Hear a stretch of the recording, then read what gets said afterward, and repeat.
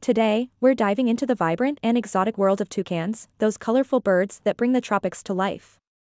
Here are five facts about them. Toucans regulate their body temperature through their beaks.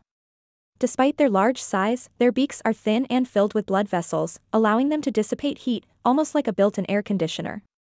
Despite their striking appearance, toucans aren't known for their diverse vocalizations.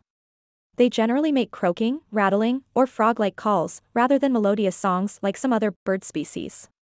Toucans primarily feed on fruits but are also opportunistic eaters.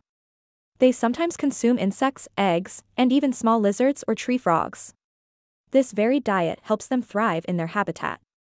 Toucans adapt by nesting in tree hollows made by woodpeckers, rather than building intricate nests. They modify these sites to fit their needs. Toucans live in small groups and practice cooperative breeding. Older siblings or group members aid by feeding and guarding the young chicks.